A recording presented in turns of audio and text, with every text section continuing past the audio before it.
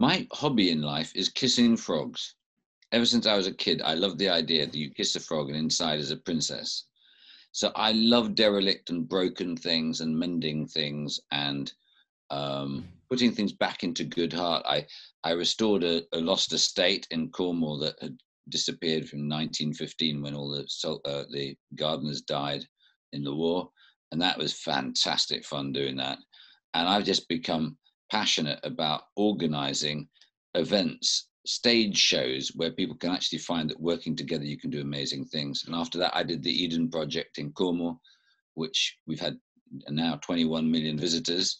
Um, and I guess it's the most successful man made environmental center in the world. But the point of it is actually is you should burn it down if it wasn't changing things and for example the things that you and i are both interested in it's about making the whole world realize that science isn't something that should be in a box. It isn't something that you go away to study. It is actually the observation of everything that is around you. And I know that you and I are both fans of um, what we would call natural philosophy um, and want to put the sciences back together into transdisciplinary study of things so that everybody gets excited about seeing the interconnectedness of things. I know that you have um, very strong opinions on how we need to make war on the bland was a phrase that, yeah. you said when someone points out the invisible biome of your body and how it operates and how absolutely extraordinarily complex and beautiful that is that is the first thing that is extraordinary to you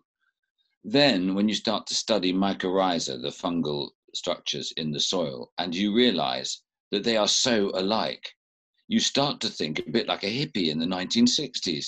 We are all stardust. We are all earthlings. I think we're living at a time in history that is unbelievable when we are going to discover that we're all sort of made of the same stuff and how utterly crazy. I mean, this show is being put together because of uh, the impact of coronavirus.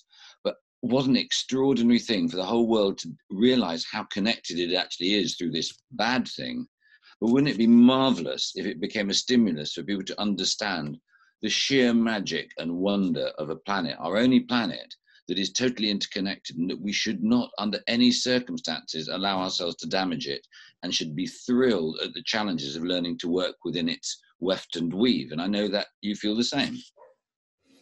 Yeah, exactly. I, I, I know that this is uh, in many ways a, a, global disaster and that it's caused um, a huge amount of, of, of suffering for, for many people but I, I, really hope that, that there's a way that we can take the take the learnings of this and turn it into something positive to try and to, to drive some long-term positive change